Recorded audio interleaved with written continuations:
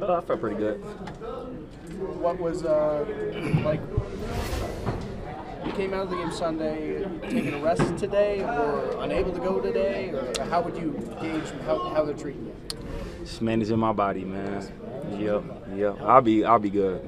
Game time. How did it happen Sunday? Was the ankle just when? Normal, just normal football. Just a lot of, a lot of hits. yeah. Was there a play when that happened, or was Yeah, it was a few of them. It was a few of them, probably like four or five. Just kind of tweaked a little bit.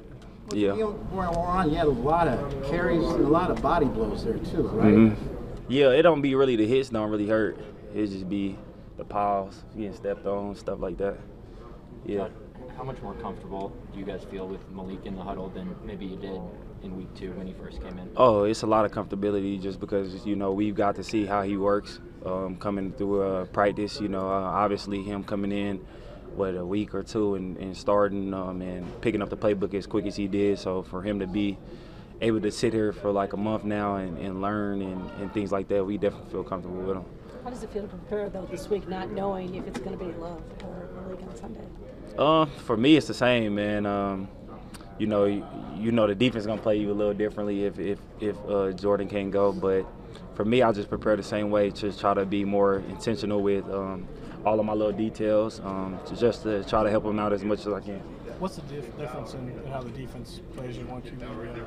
I feel like they play a little bit more honest when Malik is in because they they kind of fear his legs. You know, he can move, um, so they kind of play a little bit more honest uh, when he's in. Curious, you said the ankle was bothering you throughout the game. Was it bothering you on that big touchdown where you had those jump cuts? Yep. Yep. So, so what's it like to make those moves on, on an ankle that's hurt?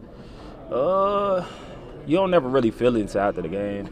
Like you feel it in the game, but it'd be like, all right. But then after the game, when you kind of like get on a plane and it swell up and you kind of get off, you're like, damn, like kind of all settle in. But I'll be all right. Worth it for a highlight like that?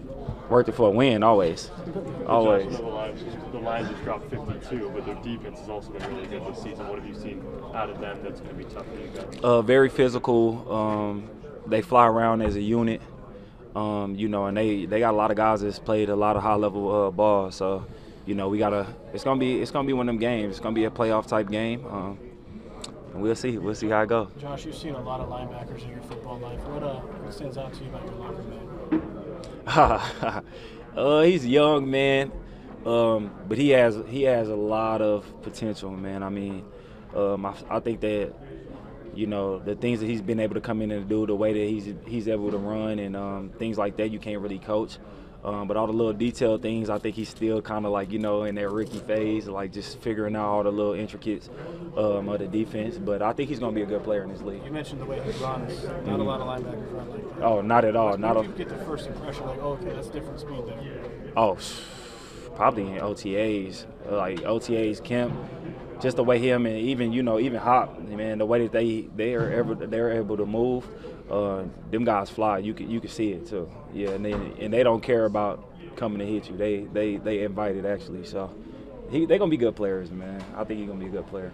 When you were riding that bike pre-practice, when you looked there, looked at the guys around, you're like, all right, we're a little bit more injured than we were in uh, Jacksonville at this point.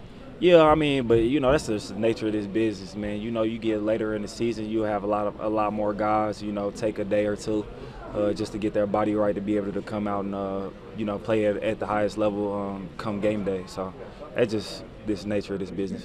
What has stood out to you about just the running back room and what you guys have? I mean, I, we are deep. you know, like really from like one to four. I, I think all the guys in our room can go. All the guys in our room, you know, has that has that uh, capability of breaking a big one and uh, making electric plays. So um, we got a pretty deep room.